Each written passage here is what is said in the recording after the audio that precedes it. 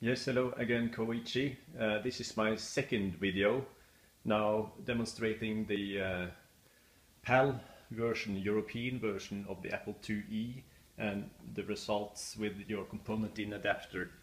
As you can see just for reference the card now sits in the auxiliary uh, connector which is placed a bit uh, differently on the motherboard when compared to the US based model.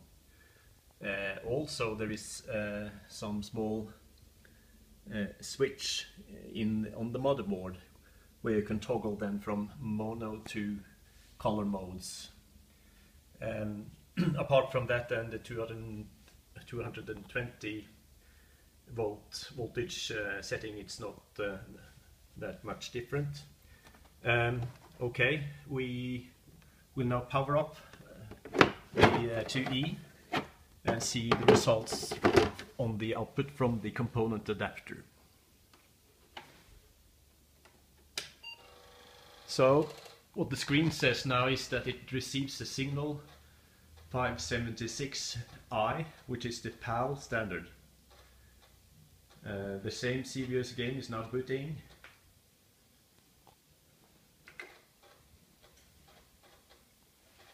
You can see the color rendering is basically the same as for uh, when running on the NTSC model.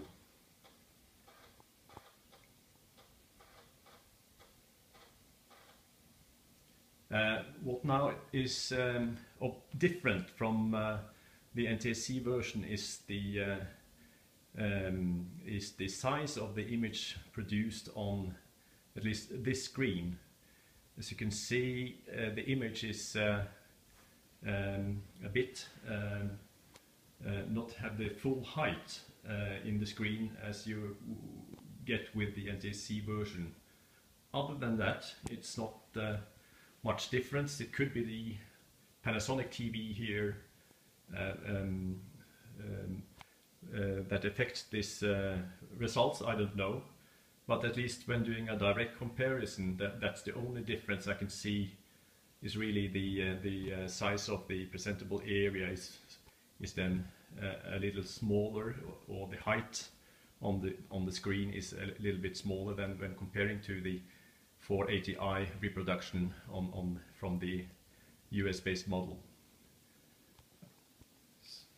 So um, other than that it's not uh, much to say. The European version I got here, the PAL model, is um, uh, also produced in 1982 and uh, it does not show any revision um, uh, uh detail on, on the motherboard. It says E4 um, on a special sticker. I don't really know what that, that means. I'm not sure if it's showing up sufficiently. Um, but uh, it says Apple IIe PAL version 1982 and then a small sticker E4 which could explain some revision uh, model. Anyway, that's that's the results I wanted to share with you. It's uh, uh, an exceptional solution for uh, for the Apple IIe, uh, and um, as you can see, the detailing graphics here is also um, quite nice. The flickering you will see on uh, on uh, on the video here is not um, from the uh, from the plasma. It's um, from the refresh rate interference from uh, the uh, iPhone uh, camcorder.